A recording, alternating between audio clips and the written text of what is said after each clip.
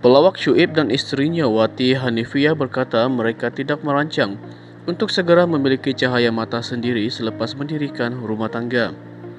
Wati berkata Syuib meminta dia memberi tumpuan terlebih dahulu untuk menjaga empat cahaya mata hasil perkahwinannya dengan ayah Ham Siti Sarah. Dari awal lagi dia dah cakap untuk jadi suri rumah sepenuh masa. Jadi saya ambil keputusan untuk fokus besarkan anak-anak yang ada dahulu, katanya.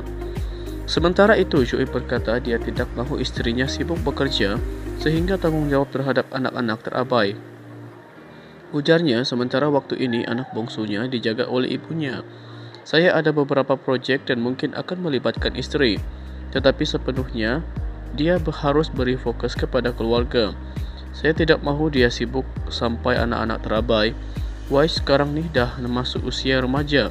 Dia perlukan perhatian kedua ibu bapa, katanya. Difahamkan pasangan itu memilih untuk berbulan madu di Pulau Langkawi sebelum bercuti bersama anak-anak di Turki.